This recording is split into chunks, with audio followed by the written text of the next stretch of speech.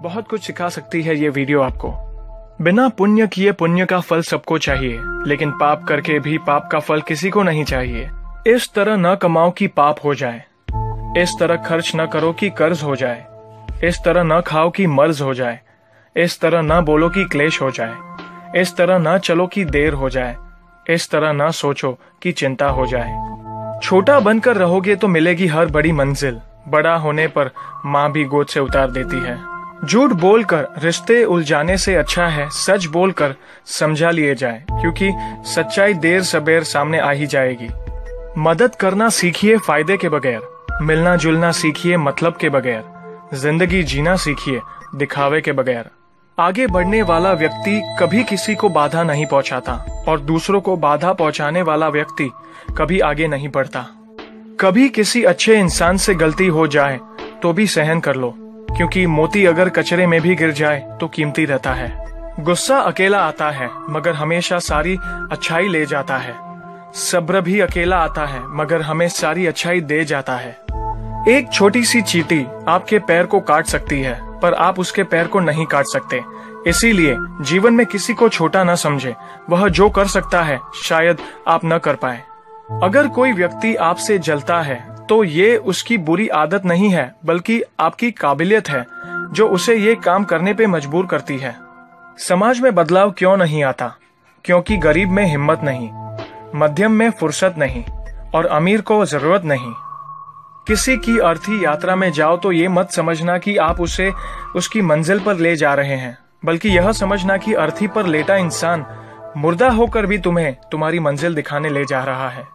जो लोग आपसे जलते हैं उन लोगों से नफरत कभी मत करना, क्योंकि यही वो लोग हैं जो ये समझते हैं कि आप उनसे बेहतर हैं। जो आपकी खुशी के लिए हार मान लेता है, आप उससे कभी जीत नहीं सकते। आप अपनी ज़िंदगी की तुलना अन्य लोगों के साथ मत करो। सूर्य और चंद्रमा दोनों ही चमकते हैं, लेकिन अपने अपने समय पर। मंदिर में वो भगवान है जिसे हमने बनाया है, लेकिन घर में माँ बाप वो भगवान है जिन्होंने हमें बनाया है। संतुलित दिमाग जैसी कोई सादगी नहीं है, संतोष जैसा कोई सुख नहीं है, लोभ जैसी कोई बीमारी नहीं है और दया जैसा कोई पुण्य नहीं है। कई बार चुप रहना बुजदिली नहीं, बल्कि समझदारी और वक्त का तकाजा होता है। जो ज्ञानी होता है, उसे समझाया जा सकता है। जो अज्ञानी होता है, उसे भी समझाया जा सकता है। परंतु जो अभिमानी होता है, उसे कोई भी नहीं समझा सकता, उसे वक्त ही समझाता है। ताकत के संग नेक इरादे भी रखना, वरना ऐसा क्या था जो रावण हार गया?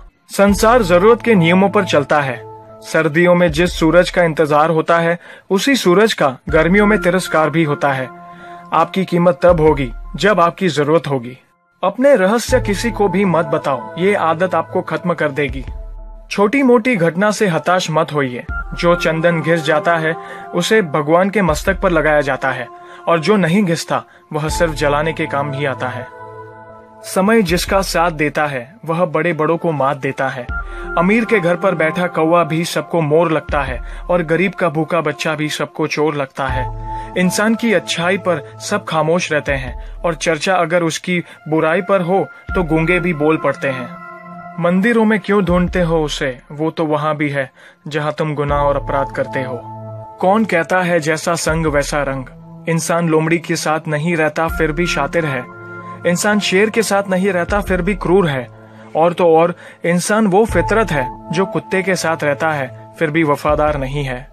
कोई अगर आपके अच्छे कार्य पर संदेह करता है तो करने देना, क्योंकि शक सदा सोने की शुद्धता पर किया जाता है, कोयले की कालिक पर नहीं।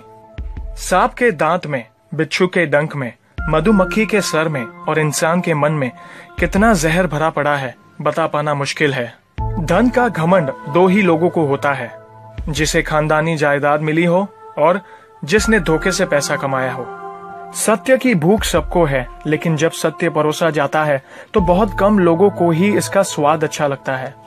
हमें कितने लोग पहचानते हैं, ये मायने नहीं रखता, बल्कि किस वजह से पहचानते हैं, यह बहुत मायने रखता है। उम्मीद करता हूँ कि ये वीडियो आपको पसंद आई, और इस वीडियो को आप लाइक और ज़्यादा से ज़्यादा शेयर ज़रूर करिएगा।